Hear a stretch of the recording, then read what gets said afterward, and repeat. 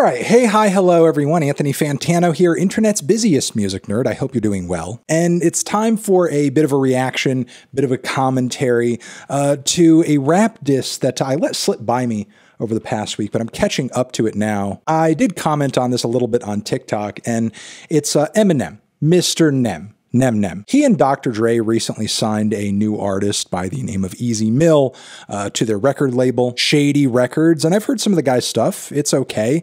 Uh, seems like the kind of artist Eminem would promote, if that means anything to you. Uh, now, to sort of celebrate this new signing, of course, he uh, comes out with a new track.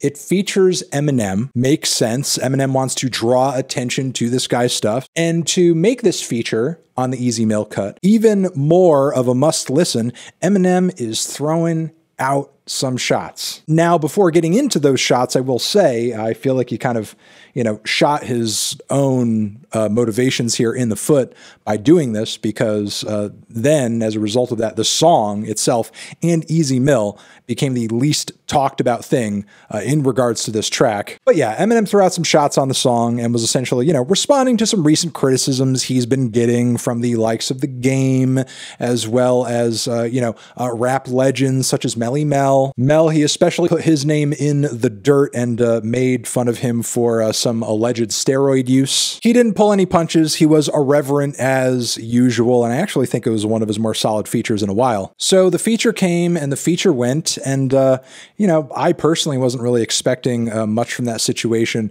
immediately. Maybe eventually, like a response from the game, considering how much uh, around the cycle of his last album he was kind of going at Eminem. But no, right out of the gate, in response to this song, we actually get a diss track from Melle Mel. Sampling this may be totally unnecessary at this point because word's kind of already gotten around that this uh, diss track sucks. And not just because, you know, we've seen like rap Twitter tearing it apart or anything like that. Uh, Melle Mel himself has actually gone on the record uh, saying he's disappointed in the quality of the track. So even when the man who made the diss in, in a field like hip hop has to like fess up and put his ego in his pocket and and like you know come to terms with the fact that the diss was trash. You know it's bad. Even some of the worst disses and responses uh, at least had the artist who made them standing behind them proudly. But Melle Mel on this one has already given up ground, so I'm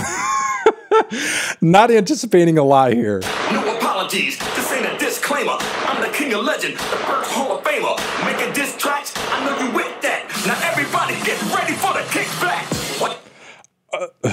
Okay. Um first off, this diss only looks to be a minute and 16 seconds, which like how? You're dissing Eminem. Like as great and as talented and as groundbreaking as Eminem and his legend are, uh, he is handily like, you know, one of the top rappers out there when it comes to like having embarrassing and just awful shit out there about him. There are Eminem haters who could write entire books on all the things they hate about Eminem, and you just give us a minute 16, and the first 12 seconds of that is taken up by this old school flow, back to the day when I was a huh, blah, blah, blah. Buh, buh, buh, buh, buh, buh. It reminds me of that Hannibal Buress bit on hip hop. It started out in the park. which like a lot of that old school shit I love and it's amazing and I own those records and I love those records and and look I love old like Grandmaster Flash shit as well but this is uh this is not it. Like nobody's hearing this flow in 2023 and thinking like, "Oh man, he's about to melt this M&M's candy coated shell. And the guns, like obviously, you know, I get it. The kickback from like, you know, a gun you're shooting and you're firing. Uh, the guns sound like trash. Like the the gun firing is the beat. Awful. You hurt, why you mad? Now you look bad. Like a roach just crawled out of your book bag. Get a pack clash, you. Why, why you hurt? Why you mad? You look bad. You you look like a roach cl- climbed out your book bag. What does someone look like when a roach climbs out of their book bag? I mean, they probably look grossed out. They- Either that or they wouldn't, which I mean, that would be weird, but like, is that an insult? You look like a camel walked into your garage. Get a pack clash, black clad. Go to bed with no supper, cause you gotta suffer the backlash. Is Melle Mel trying to make himself sound old on this song? He just sent Eminem to bed with no supper. How did he not reference the spaghetti there? It would have been amazing.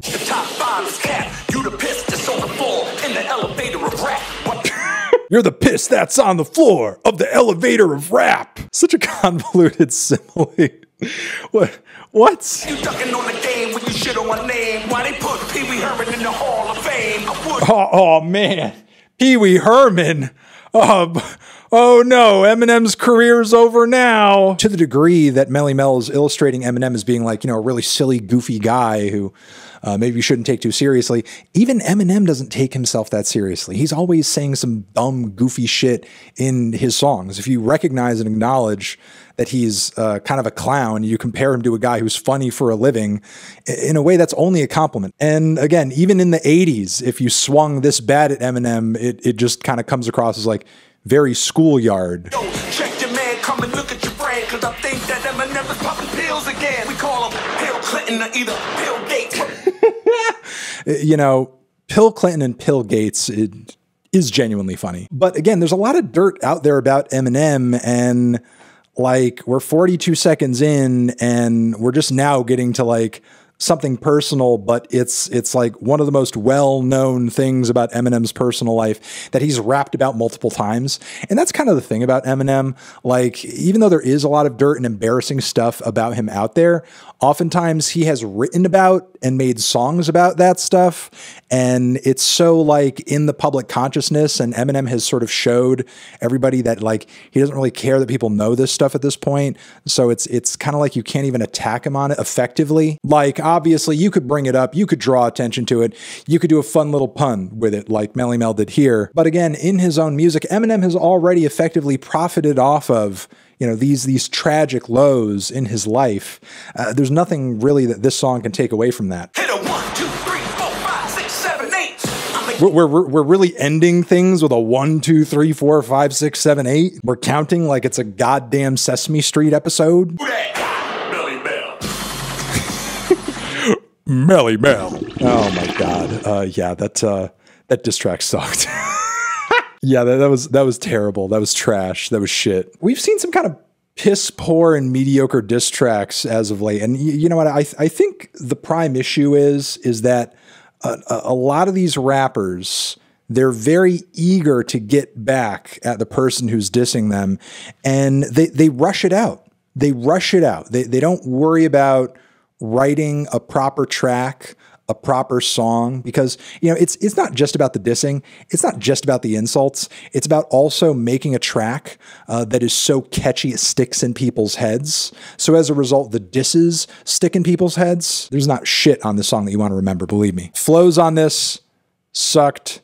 Beat on this sucked. The insults were laughable at best. And uh yeah this this was not not a good diss very very sad diss and a very sad day uh, for old school golden age hip hop greats. This wasn't really entirely necessary. Like a guy like Melle Mel, his influence, his impact on the genre uh, is is there now and forever, uh, regardless of who disses him or how hard they diss him or whatever. There's nothing really that can take that away from him, and there's nothing that uh, a diss song, even a good diss song, could do uh, to you know basically cement his uh, place in hip hop history any further. Truly and honestly, a dude like him, even if he is very old headed and does have his head up his butt sometimes, because you know Eminem is not the only uh, rapper uh, who's reached classic status and uh, has, has put out great work over the years, who he's uh, dissed. At the end of the day, a guy like Melle Mel, all he really has to do is like sit back and just be like, well, you know, listen, uh, I helped start the shit. So I can say whatever the hell I want to say about Eminem in whatever interview because